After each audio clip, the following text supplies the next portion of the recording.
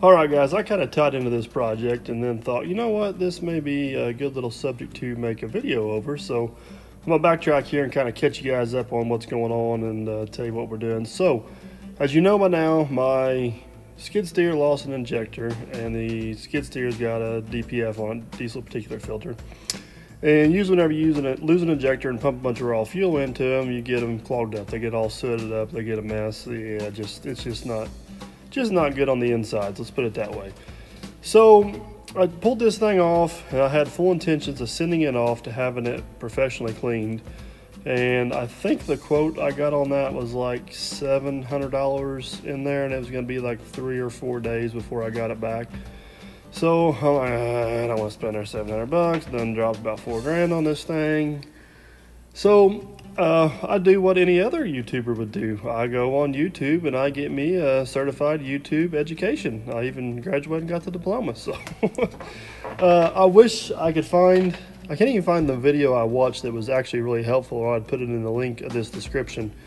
But there's several different videos online or on YouTube that were very helpful about uh, basically uh, different ways to clean this thing. Now, the whole purpose of this thing is to collect carbon basically and I'm pretty sure these methods of cleaning it uh, introduce some of that carbon back in the air. So you want to be a little bit careful about that if you're an environmentalist so I was somewhat careful about that but my main goal was to try to save save save $700 so after watching a couple YouTube videos and doing some research online I thought you know what?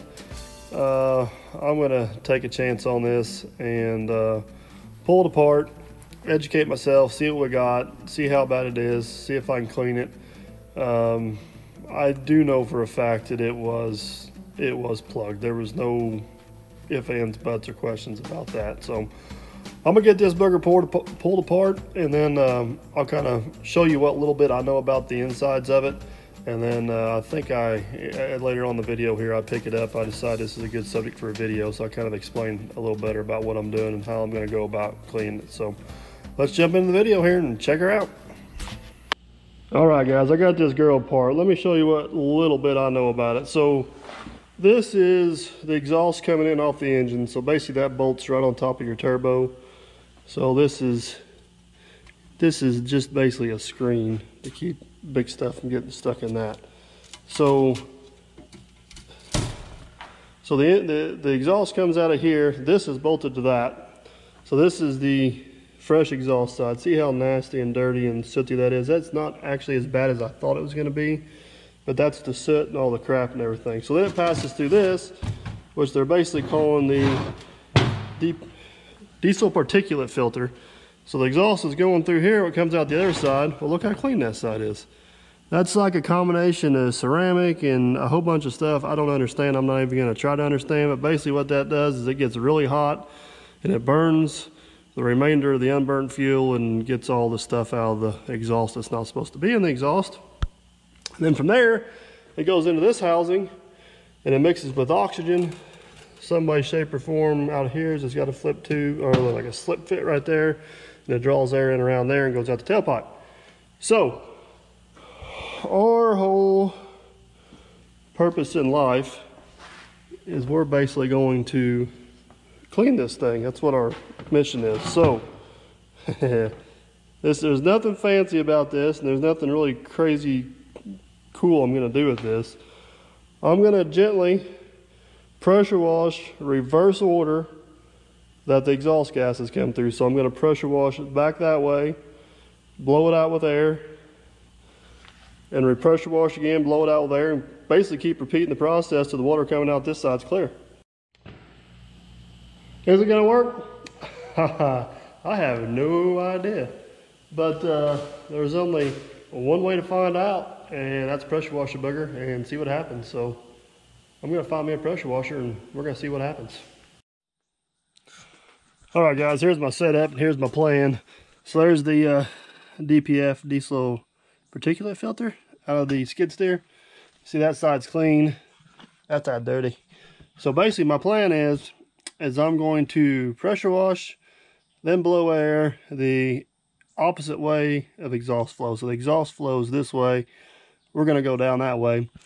And we're going to rinse, wash, repeat until basically uh, clean water comes out down there. I'm going to use uh, yellow tip and the pressure washer. And then I got my air hose over there. I guess the main thing is, is not to get too aggressive with it. I don't know if you can see down there. See those little uh, plugs in the end there? You basically don't want to uh, blow those out. So let's fire this pressure washer up and see what uh, see what happens. I got my old uh, Joule hooked up here, so we'll get this girl fired off and get to work.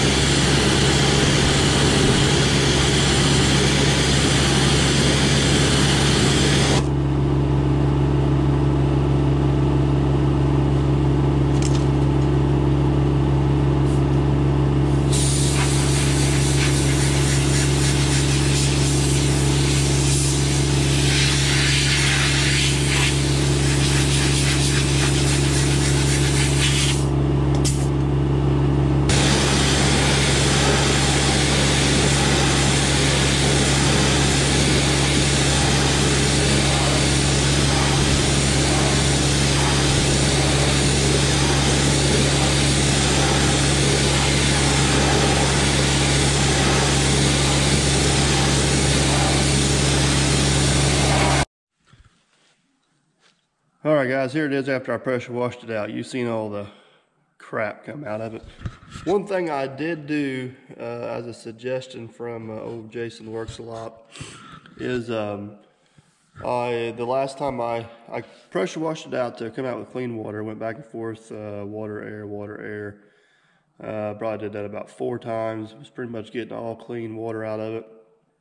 Then uh, the last thing what I did was is I soaked the end of it down real good with brake clean, let it sit for I don't know a couple minutes, and then come back with an air hose, and then I got this additional stuff out of it. You can see there wasn't a whole lot come out of there, but I did get a little bit more out of there. So at this point, I'm confident she's clean.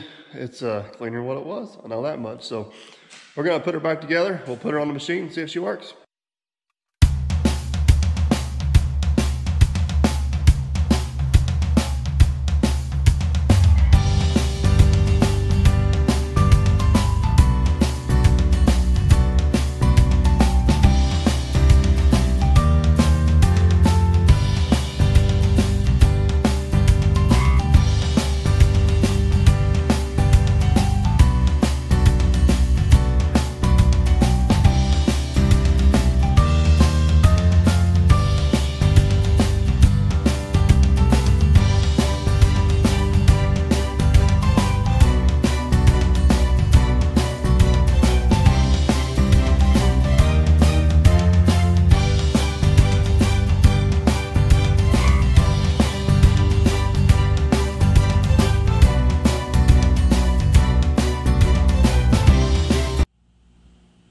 All right, guys, here it is after I got it all cleaned and all back together. Get all the sensors put back in, whatever that mumble jumble is, I got it put back on there.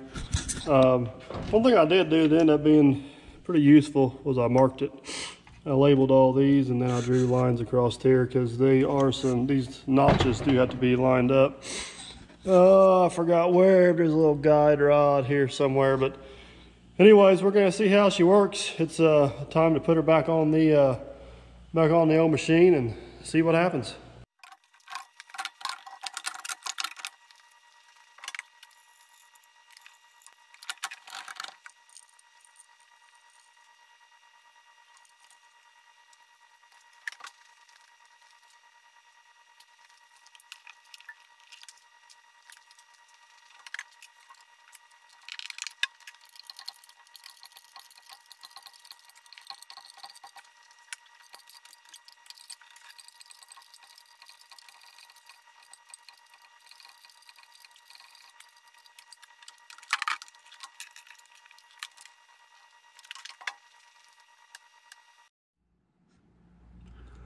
All right, guys, there's the uh, diesel particulate filter, DPF, I think it's called, back in there after we got it cleaned.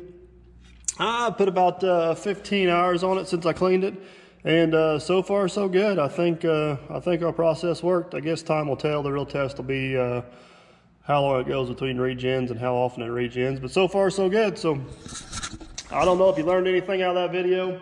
Hopefully you can take something away from it either uh, use it to your advantage or uh, know what not to do, either one, but it seemed to work for me. So guys, as always, I hope you enjoyed the video. Don't forget to like, subscribe, and comment, and we'll catch you on the next one.